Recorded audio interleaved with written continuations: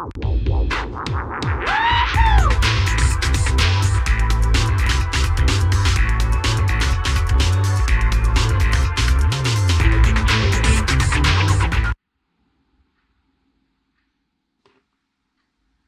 war das jetzt? Was? Ich glaube, du sahst komisch aus. Nee. Helau. Ja, oder die anderen sagen Alaf.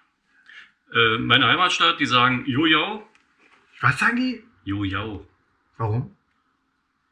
Was Wo, weiß komm, ich. wo kommst du denn her? Schönen Gruß nach. Der Gruß der Woche geht in die Karnevalsregion Bleicherode Ach, Bleiche, wo liegt denn das?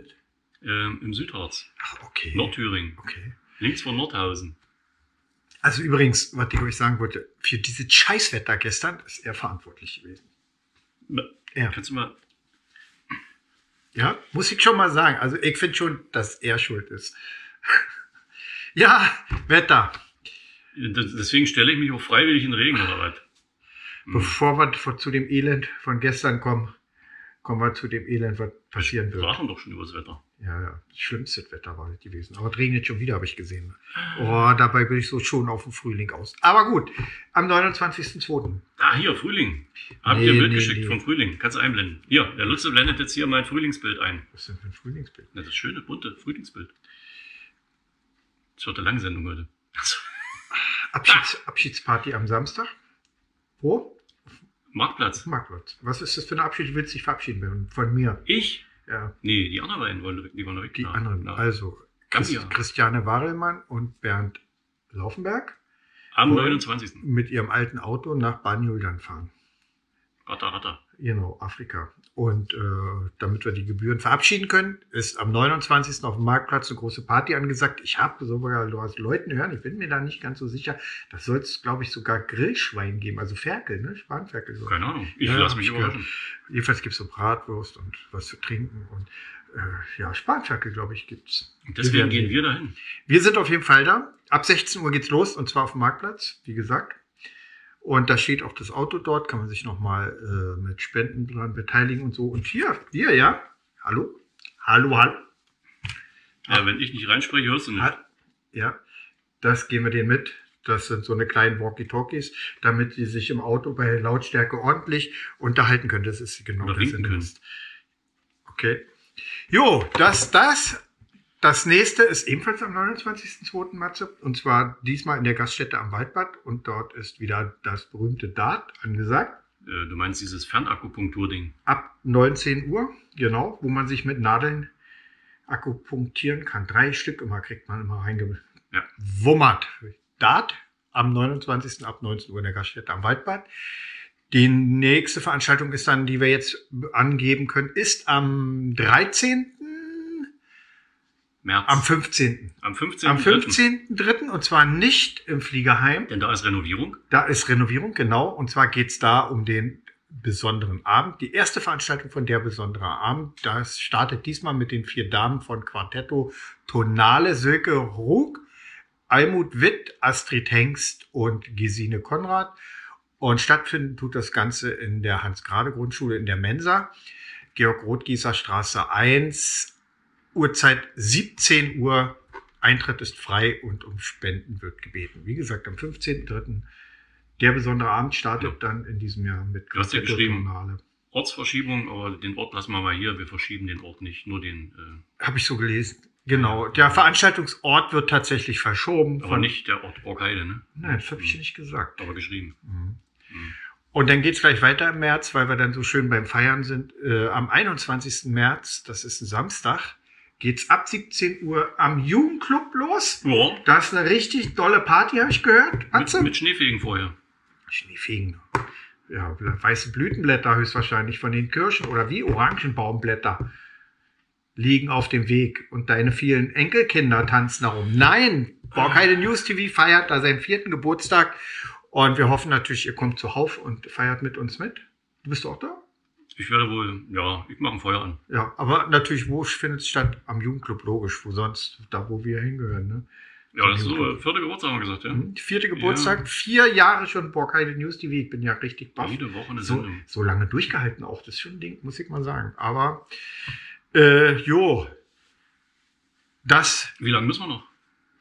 mit der Veranstaltung heute? Nee, die Videos hier machen. Na, wir machen dann unsere Beerdigung dann noch. Das ist der letzte dann. Die Veranstaltung. die nehmen wir die Kamera mit rein, ne? Mhm. Hm. Aber das ist noch ein paar, paar Wochen hin, glaube ich.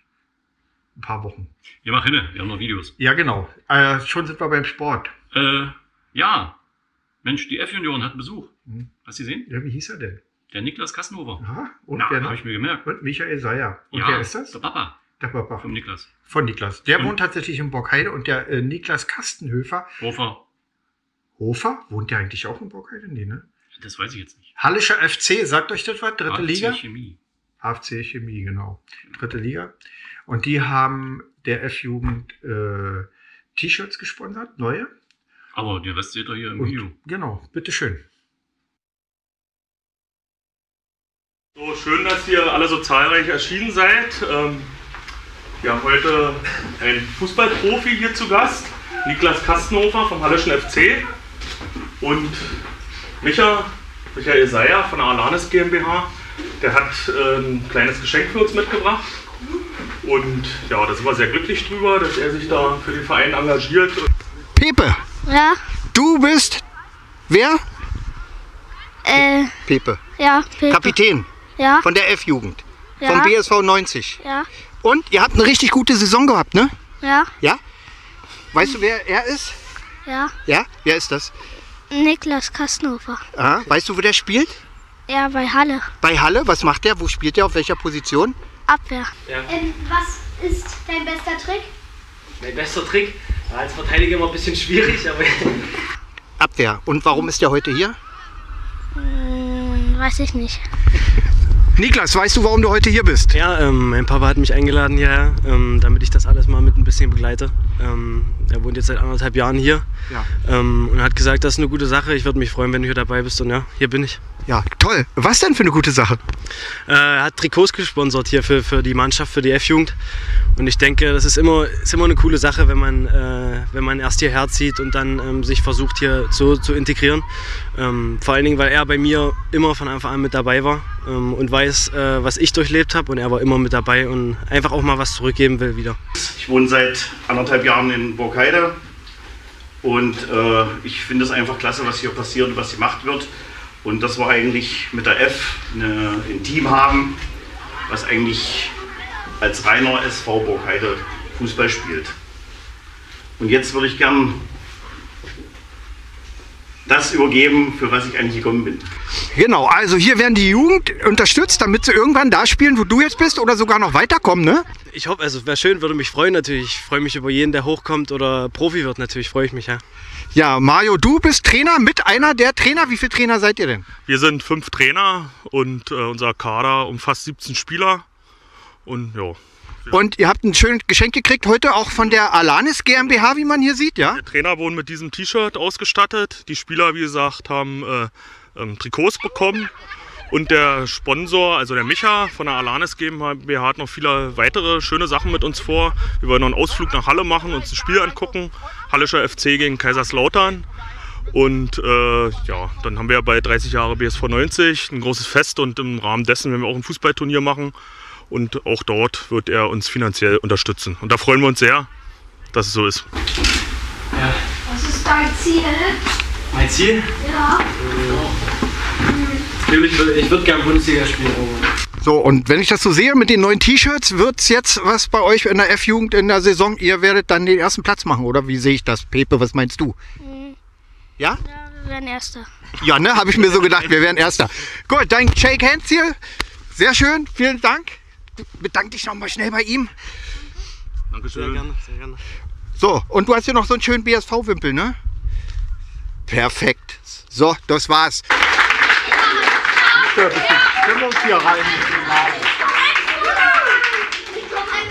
Also, dann gucken wir mal, ob das die Nachfolger von der Männermannschaft wird. Auf jeden Fall haben wir heute erstmal super Wetter. Die Sonne scheint, wie man sieht. Nee, ist natürlich nicht die Sonne, sondern die Flutlichtanlage hier auf dem Friedrich-Ludwig-Jahn-Sportplatz.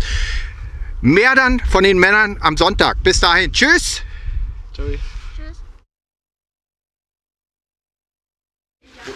Und noch ein Korb für Bokaida News TV. Wir engagieren sich immer so aufopferungsvoll für Für den Verein auch. Oh, danke. Das war's dann. Tschüss, danke. Ja, war eine richtig coole Veranstaltung, oder? Und in Halle haben sie früher Salz äh, hergestellt oder rausgeholt. Weißt du wie? Fußballplatz? Nee, die haben die Schweine in die Saale getrieben und haben die dann wieder rausgeholt und dann sind die abgetrocknet, aber das Salz auf den Schweinen hinterher drauf. ist kein Scherz, ist echt. Eine Saale ist die salzig? Ja. Seit wann das? Saale, Saline, deswegen heißt der Fluss so. Okay. Erhöhter Salzgehalt. Lass die mal sehen. ja, okay, wir nehmen es so ab. Ja, und dann war noch was. Und zwar gestern war nicht nur beschissenes Wetter, sondern auch äh, Fußball. Hast du jetzt das böse SCH-Wort gesagt, so randweise? Beschissenes Wetter. Und äh, Fußball gewesen. Äh, ich war nicht da. Und äh, leider, leider, leider hat Borgheide es diesmal wieder nicht geschafft. Aber ich glaube, das lag gar nicht so sehr an denen. Ach, Matze, du warst da, ne? Ja, ich gucke immer noch grimmig, wenn ich dran denke, weil. Ja, nee, nee, also man soll nicht auf Schiedsrichter schimpfen. Ich darf's. Weil ich hab's, ich hab zugucken müssen. War nicht schön. Ja, egal, und wie der Trainer das gesehen hat, sehen wir hier. bitteschön. So, da sind wir, Markus.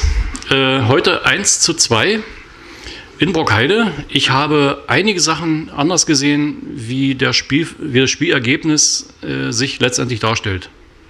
Ja, also heute konnte man der Mannschaft keinen Vorwurf machen, muss man ganz klar sagen. Ähm, wir haben gekämpft, wir haben zu 80 Prozent Ballbesitz gehabt gefühlt, äh, haben das Spiel gemacht. Natürlich schwer auf dem Rasen.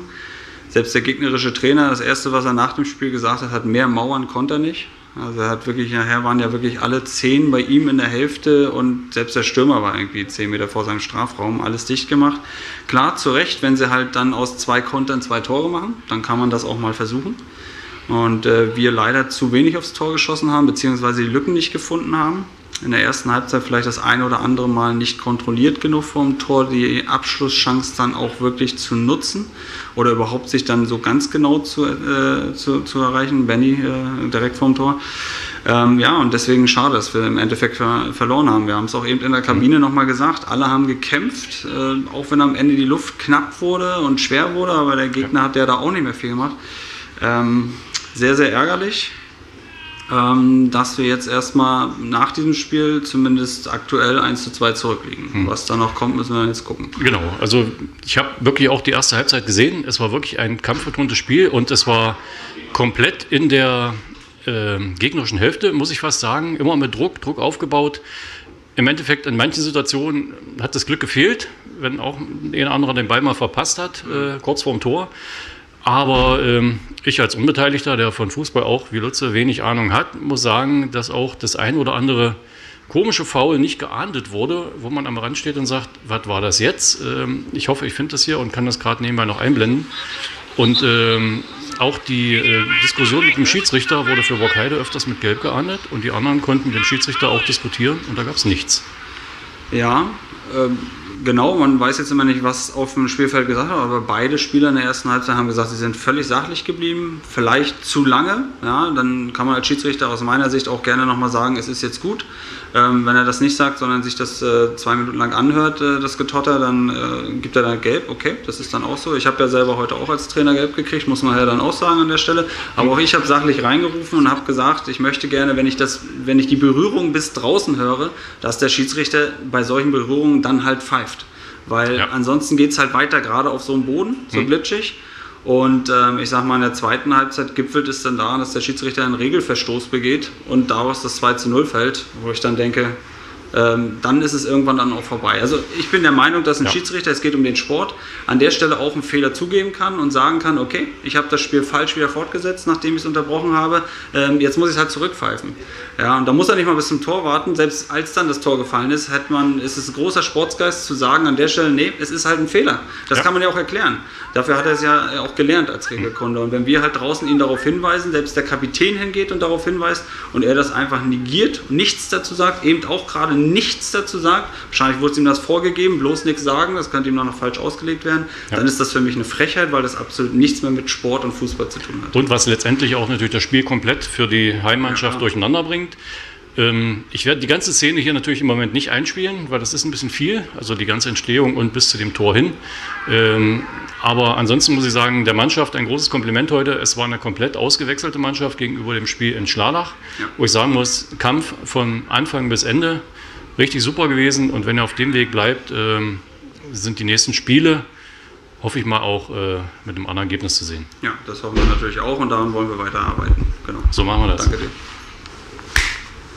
Tschüss.